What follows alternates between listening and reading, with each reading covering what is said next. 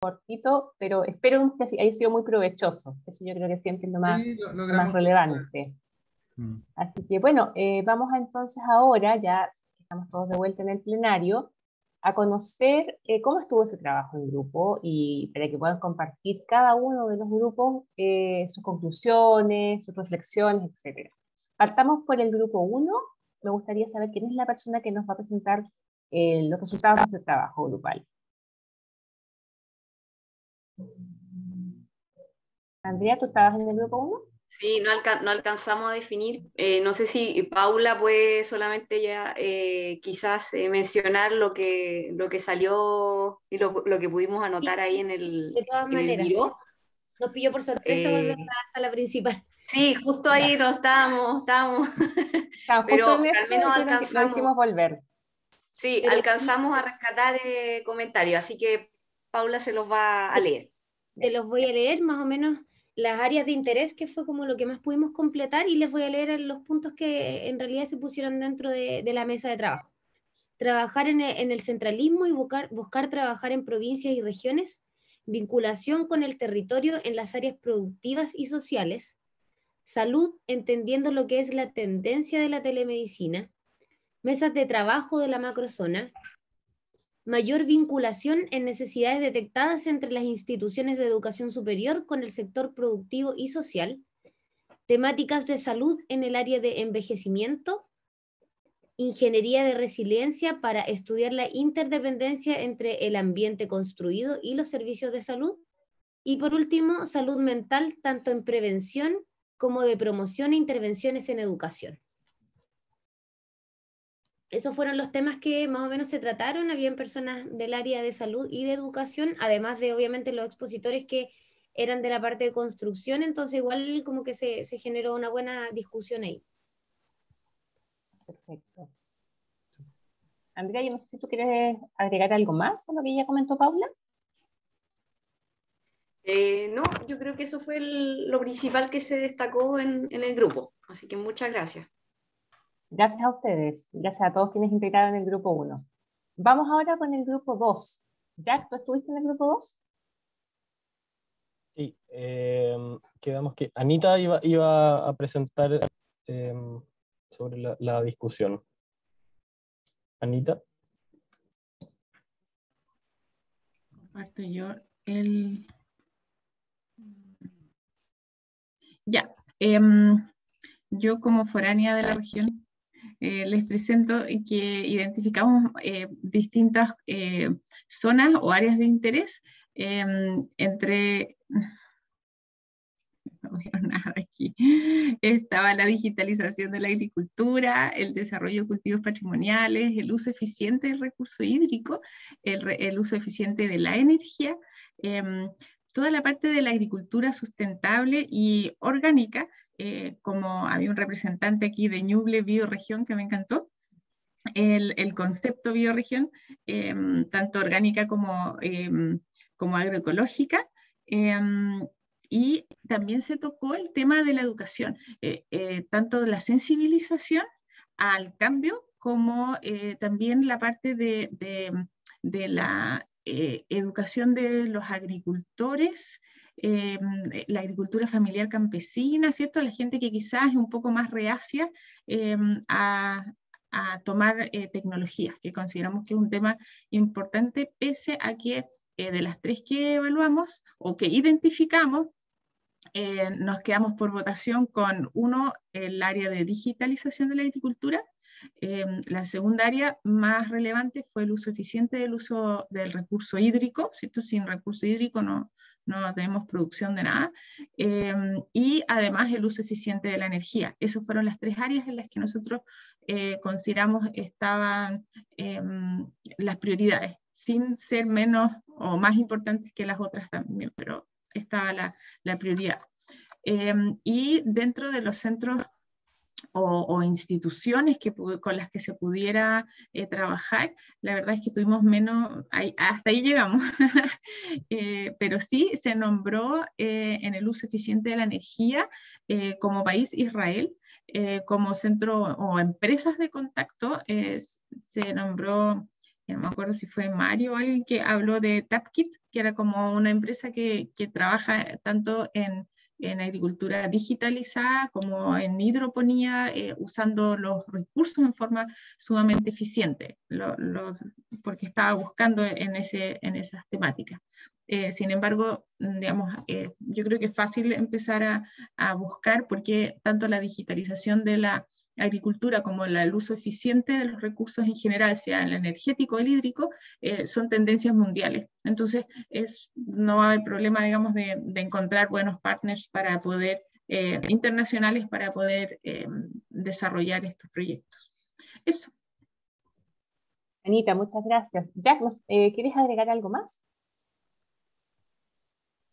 No, me parece que está todo dicho lo, que, lo que conversamos y claro, quizás ahí en el, tema de los actores nos falta un poco más de tiempo, pero, pero estuvo muy interesante la, la conversación. Estupendo. Gracias, Jack. Gracias, Anita, y gracias a todos quienes se integraron en el grupo 2. Y ahora vamos con el grupo número 3. Me soplan que Alexis Salas va a, a, comentarnos cómo estuvo esa conversación. ¿Alexis? Sí, hola, hola, hola. Voy a, voy a compartir mi pantalla rápidamente. Bueno, igual nos faltó tiempo, pero logramos, definir algunas cosas. De, las preguntas eh, a los expositores quedaron guardadas y las vamos a llegar a ellos. Eh, me voy a centrar en la parte de, las áreas. Eh, en el, habían especialistas de distintas áreas dentro del, grupo, entonces principalmente se discutió sobre algunas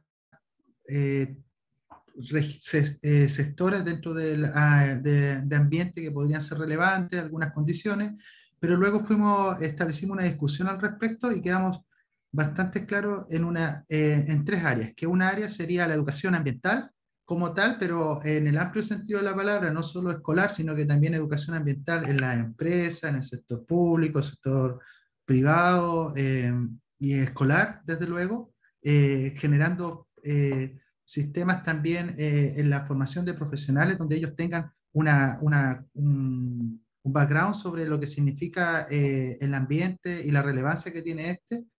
Eh, luego se hizo una discusión también sobre el monitoreo ambiental y sobre el reajuste de algunas áreas, por ejemplo, como la silvicultura, donde los monocultivos son considerados recursos renovables, pero en cierta forma ya no son tan renovables, y cómo también tendría que haber un área de, de monitoreo ambiental, eh, tanto a nivel de empresarial como también de, de ecosistema. Y la tercera sería un área de articulación, donde trabajar en conjunto con, con los actores clave en distintos temas ambientales, de clima templado, oceanografía, y generar eh, documentos para que la población pueda trabajar con ellos. En los centros no alcanzamos a escribirlos, pero dejamos la área ahí, lo dejamos como tarea. Todos tenemos acceso al, al Miro y esto va a quedar. Y si alguien eh, se le ocurre algún centro, los podría, o investigadores del área que podrían trabajar en esto, podrían quedar aquí incorporados. Educación ambiental, monitoreo ambiental y la articulación eh, de, de, instituciones, tanto sectorial como. Eh, multidisciplinar. Eso. Perfecto. Muchas gracias, Alexis y bueno, a todos por su participación en las mesas de trabajo. bueno, ya estamos eh, en los minutos finales, vamos para concluir la jornada. Y quiero pedirle nuevamente a Alexis eh, Salas, que es director del nodo de la macrozona Centro-Sur, y también a Charapilla Catimova de ANIT, que puedan eh, intervenir en esta última parte para contarles un poco cuáles son las conclusiones que ustedes advierten o cuáles son los aspectos más relevantes de lo que ha sido esta mañana de trabajo. Eh, empieza, comienza Charapilla, si quieres, por favor, ¿cómo está? ¿O, yo empiezo? Ya, no, cualquier. Bueno, eh, muchas gracias a todos por participar, sobre todo a los investigadores que presentaron sus proyectos. Este es nuestro primer acercamiento a las macrozonas, a trabajo con macrozonas en área de internacionalización.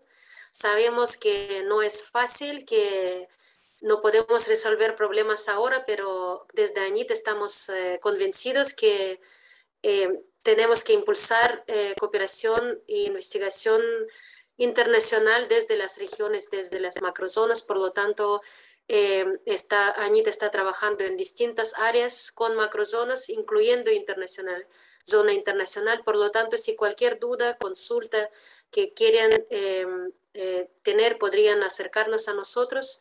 Nosotros podemos apoyarlos en, lo que sabemos, lo que podemos. Y eso, y agradecer sobre todo el nodo a los moderadores del nodo, a Alexis personalmente, a la Seremi para, para todo su compromiso, energía y em, dedicación a, a, esta actividad y ojalá podamos trabajar eh, em, en futuro más en conjunto. Así que muchas gracias a todos y me despido. Y gracias a Comunicaciones que nos apoyaron también. Así que eso a todos. Gracias. Bueno, ah, bueno, ¿me escuchan?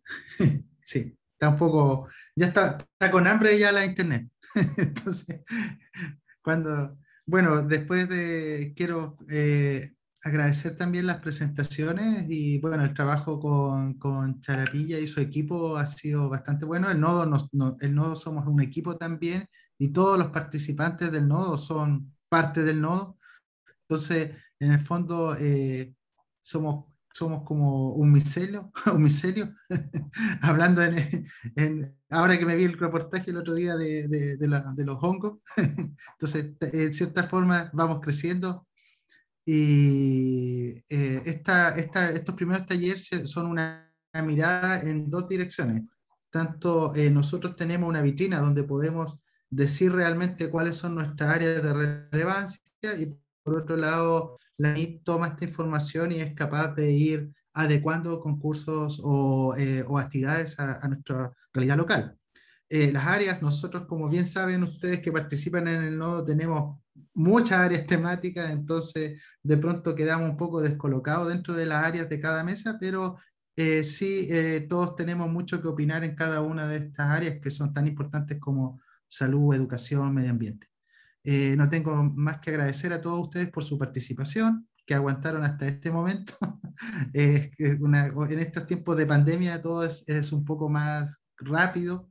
Eh, y yo creo que esta área nosotros tomaremos esta información, el diálogo, y incluso yo no descarto eh, seguirlo trabajando a posteriori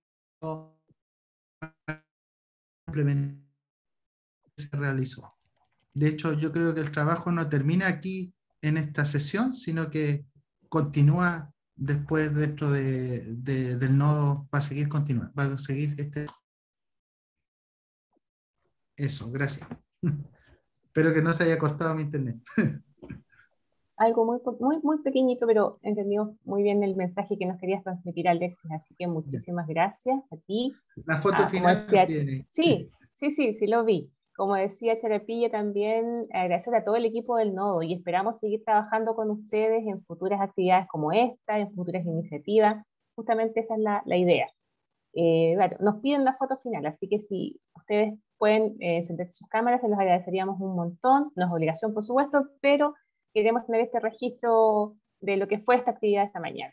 Charapilla, ¿tú puedes hacer el,